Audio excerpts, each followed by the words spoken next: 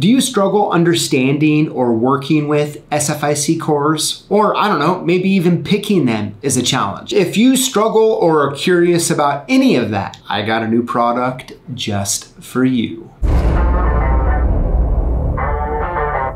All right, so Ryan, our friend over at Cutaways, is at it again. And by popular comment and demand, we now have a SFIC, that's small format interchangeable core, six pin A keyway cutaway lock. Let's dive in and take a look.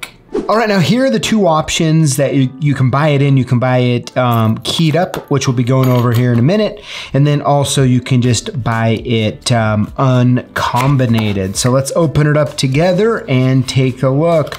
Ryan, like always, just makes these great little boxes and um, look at that. It just makes it feel extra special if you ask me. And as you can see right here is the six pin a Keyway Best SFIC core. And you can see all the chambers here and it's real beautiful. So of course you can get it like this. If you pin up locks yourself, want to give it a try, you can do it. And I tell you what, I don't know if there's a better way to learn pinning these up and um, understanding it at first because a lot of times, right, when you pin it up and you don't know what's going on and then the key doesn't work, you don't really know what to do. So training and using this at first to get you going is awesome. Now remember, this is a real core, right? This is a real a keyway, as you can see right there. And um, I mean, you can put this into use. I mean, you could stick it in a door if you wanted to, but I wouldn't uh, really recommend it because you just, you know, paid extra money to get it milled. But uh, all right, let's set that aside here and let's look at the uh,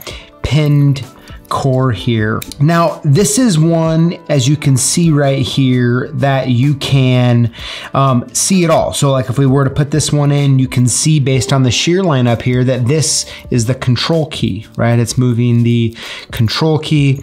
You can see what's going on there. And if you put this one in,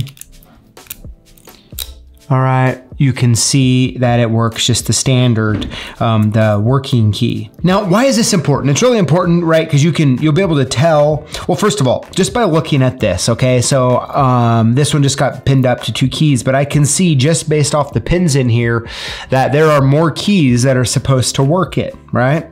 And so um, that's really cool that you're able to see that. You can start to understand why the pin stacks matter and when they're not right. And the other thing is, is that if you want to work at actually picking SFIC cores, this is really, really going to help you understand what it feels like, what's actually going on, and um, it's just it's a really great learning tool actually. All right, so there you go. Pretty awesome, if you ask me. I think once again, Ryan over at Cutaways nailed it right out of the park. It's pretty cool though that they come in both the uh, uncombinated, you know, the blank ones, or the keyed up ones because that way, depending on what you want to use it for, your skill level, that sort of thing, that you can really get the one that you need. And I also think, I don't know if any other um, SFIC core cutaway even exists out there. So pretty cool stuff. Now, of course, I'll have a link in the uh, comments to both of the different products. Go ahead and check them out.